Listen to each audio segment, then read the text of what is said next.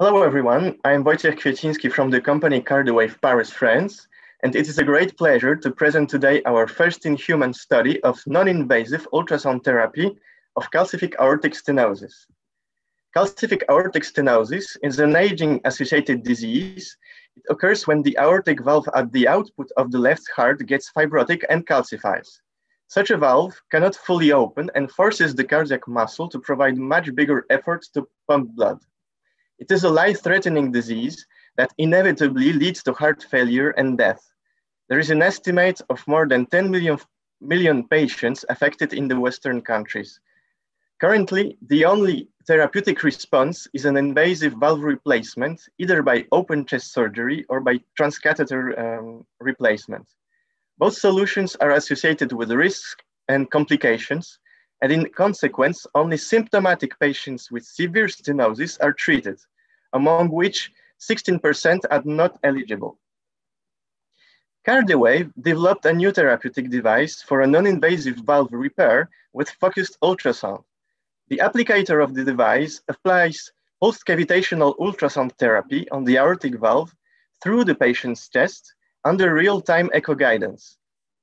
The very short and intense ultrasound pulses create cavitation that produces a mechanical effect, microfragmentation in calcium and fibrotic tissues, restoring the mobility of the valve leaflets and enabling a wider opening of the valve. Previously, we had proven that uh, safety and efficacy of the approach in vitro and in vivo in large animals. We have now performed a first in human study on 10 patients with severe symptomatic aortic stenosis who were not eligible for, for a valve replacement. They had no therapeutic solution. The primary safety endpoint was procedure-related mortality at 30 days. The primary performance uh, endpoint were the improvement of anatomical and hemodynamic parameters of the aortic valve measured by an independent core lab. The study was conducted in the Hospital Européen Georges Pompidou in Paris and in the Heart Center in, in Amphia Hospital, Breda, in the Netherlands. The PI of the study was Professor Emmanuel Messas from Georges Pompidou. He, these are the echographic results for all the 10 patients at baseline and then one month after the valvulotomy therapy. We tested the cognitive function after one month and no patient had deteriorated. There was no death nor cerebrovascular accident.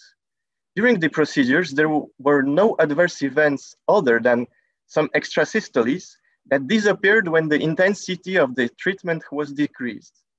In eight patients, we detected an increase of the AVA, which is the surface of opening of the valve. In seven patients, we detected a decrease of the mean pressure gradient, which represents the obstacle to the blood flow. In six of the patients, both markers had improved and we call these patients responders. Why do some patients respond and are, uh, others don't? First, it was a very heterogeneous group of very old and very sick patients. But more importantly, you see that all responders had at least 45 minutes of therapy and a mean delivered acoustic energy of 180 uh, joules per millimeter square. That makes us believe that the duration and level of energy plays a key role in achieving a significant benefit in these patients. At six months, two of uh, four non-responders died versus only one of the six responders. And no serious adverse events were adjudicated as procedure or device related. The initial one month gain of AVA in these patients was maintained at six month follow-up. Also, after the initial improvement, the NYHA heart functional classification, a quality of life score, has stabilized at six months.